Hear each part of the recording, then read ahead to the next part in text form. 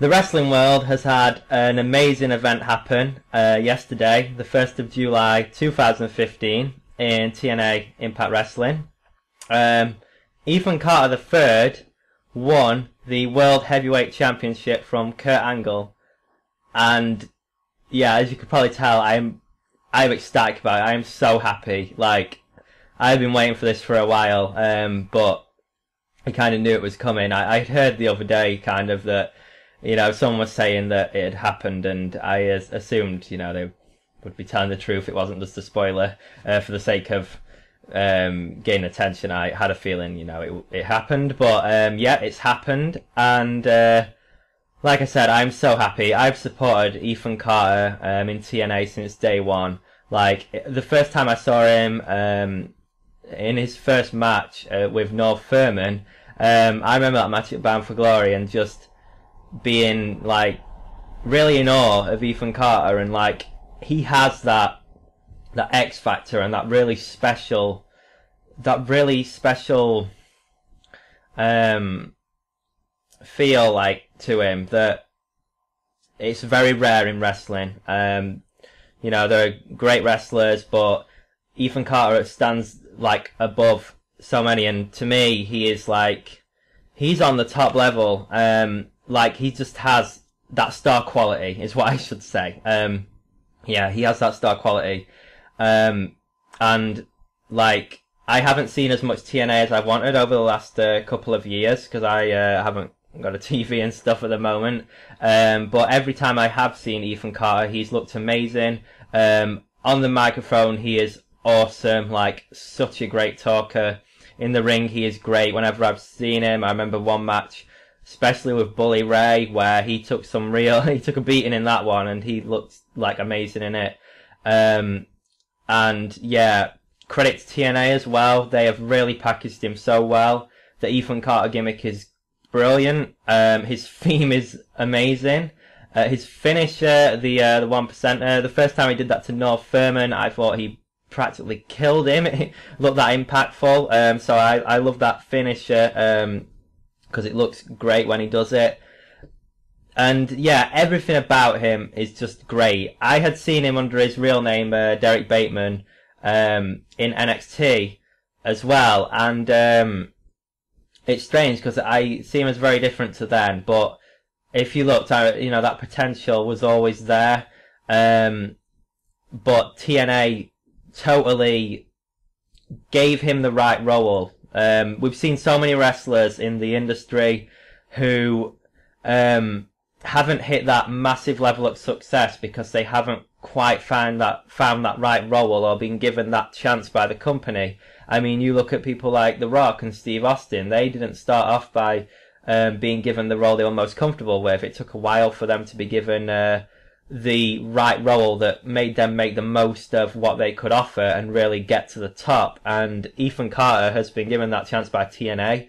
So credit to them, but also credit to Ethan Carter because his talent um, has been was, you know, just got him up to where he is now, and he totally deserves. He totally deserves everything. He deserves to have had this streak, which I think is at 600 and something days now, that never been defeated in TNA, and now he's got the World Heavyweight Championship, and he will be an amazing world champion. I truly believe he will be one of the greats. Like he will be up there at the very top of world champions. Um, the reaction the match was getting because I, I saw the last like a uh, few minutes of it.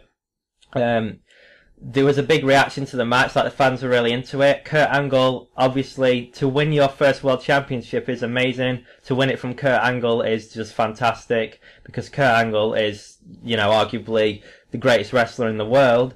Um, and the fans were really into it. Like, you know, there was the Let's Go Angle EC3, and the fans were into EC3 as well. Like, I have noticed that um, some people have supported EC3 from the beginning, but obviously, like anyone who uh, goes on that path to stardom, um, a lot more people will join along the way. Um, when they like think, oh yeah, we like what he's doing as well. And there's been a lot of support for EC3. Like generally, you know, social media is mixed. There will always be negativity, but generally, I've seen a lot of positive uh, support for EC3, and I'm so glad that he is getting that support. And people are behind him as a world champion generally because it's the role, it's the position he deserves to be in, and yeah, I just can't say enough good about him. Like, and I'm so happy he's got to that level. I'm so happy TNA is still in existence because it's been 13 years now, and like WWE didn't give him the chance he deserved. In fact, I like I really don't understand like why they didn't give him that chance. Um, I don't know why Vince looked at uh, Derrick Bateman and said, "I don't know what to do with him." Um, but what is WWE's loss is TNA's gain, and they've got an amazing world champion now, a, a young world champion. I'm not sure how old he is exactly, but um, yeah, I'm, I'm sure he's one of the younger ones. Um, and yeah, it's it's just incredible. And like, I want TNA to go as long as as long as possible.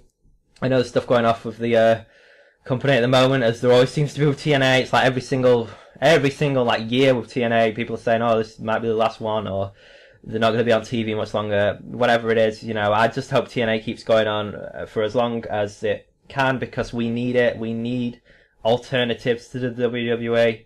While I do support WWE, um, I know we need alternatives. We really do. Um, and yeah, I'm really looking forward to seeing where TNA goes with this because I initially thought Ethan Carter was going to win the world title at for Glory. Um, Bound for Glory is in October, so like three months away.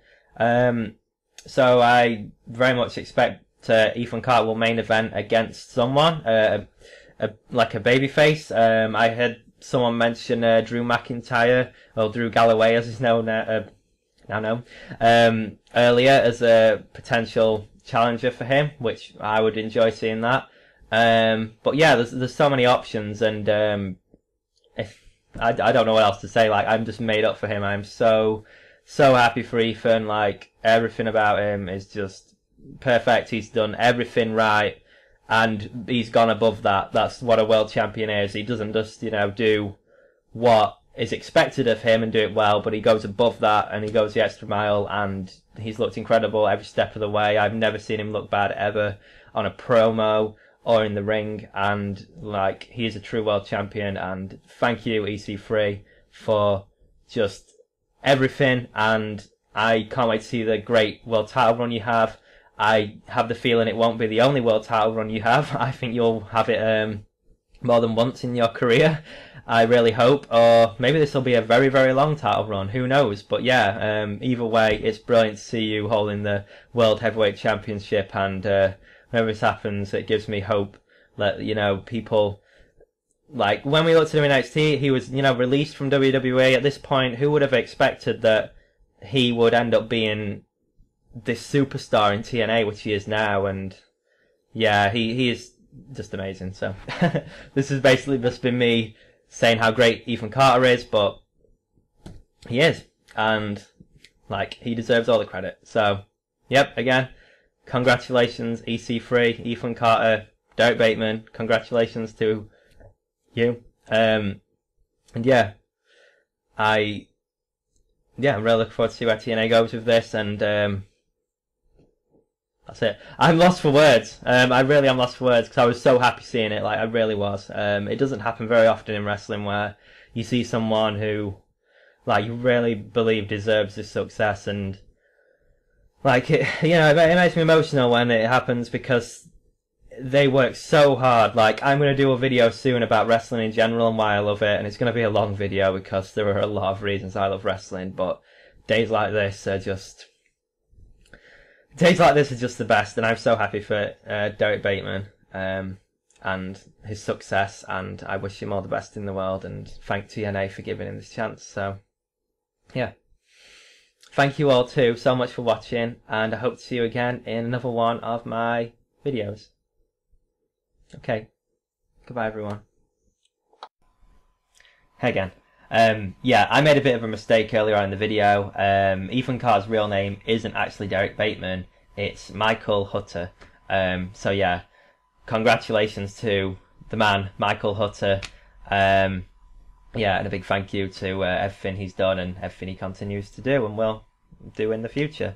Um, yeah, I was like really wanting to get that video out early because I was really excited to do it. So um, I didn't like think to check wiki and check his real name, and uh, yeah, now I know that. I know he's 32 as well. So yeah, um, thanks for watching, and uh, bye, bye again.